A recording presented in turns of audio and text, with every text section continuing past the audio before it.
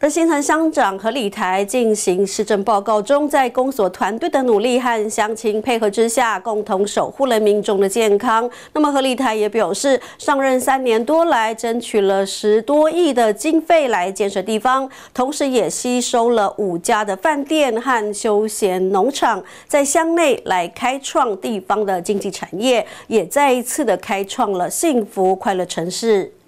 花莲县新任乡民代表会第二十一届第八次定期大会正式开议。新任乡民代表会主席陈秀玲相当感谢公所团队，除了做好防疫工作之外，而这次四年当中也为地方建设。而代表会全体同仁是相当感谢何立台的努力。那近三年来，新冠疫情确诊人数时高时低，伤亡人数无限。重创全球的经济产业，使人民陷陷入无限的恐慌。随着医学技术的不断努力研发，日前终于使得疫情暂时得以控制。各国国门也陆续的演绎在开放中。我们期许在后疫情时代，各行各业景气能够早日复苏，人民的生活能够慢慢回归正常的轨道。当然，对于疫情，我们不容许有一丝的松懈。戴口罩、勤洗手已成为人人不忘的口号。相信在不久的将来，新冠疫情一定会完全的来消退。那秀玲在此也特别恭喜我们何乡长，因为您的努力已深受乡民的肯定，所以已经连任当选了。当然，也是对何乡长所带领的公所团队的一个高度的肯定。一路走来，秀玲与各位代表秉持着。需以强力的心来监督公所，诚恳的态度，积极的作为，充分的沟通，绵密的联系，来搭起所会的沟通桥梁，在所会和谐愉快的环境下，共创，共同为努力为乡亲争取最大的福祉。新任乡长何台表示，虽然上半年受到疫情的影响，活动法办理，不过乡镇工作和地方建设是不间断的。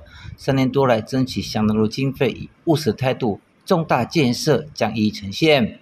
历经四年努力的建设及社会福利及各项业务的推动，新任乡逐步展现亮丽焕新、啊焕然一新的气势。各项的重大建设案件，亦积极的在推动当中，在所谓和谐的基础下。各项的提案，在各位代表李世先生的呃协助之下呢，均能够以最高的效率、议事的程序呢，来完成审议。李台在此由衷的表达感谢之意。此届任期呢，已进入呢最后的这个后期阶段。李台及公所团队在施政成效上获得乡亲高度的支持跟肯定。施政作为深得民众的这个信任。李台将持续的秉持“我们都是一家人”的施政理念，营造团队和谐的新城乡。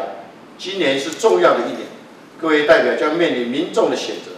相信各位代表在热情的为我们民众的服务呢，获得乡亲的认同之下，必定能够啊心想事成。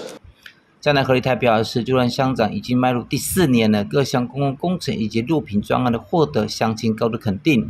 一百一十一年度公所优质团队的努力之下，各项市政财政收入稳定成长，预算经费执行力更是创下历年的纪录。今年更是重要的一年，感谢各位代表以及先进公所的支持，期盼共同为万坡新城幸福城市目标一起来迈进。记者钟毅新闻报道。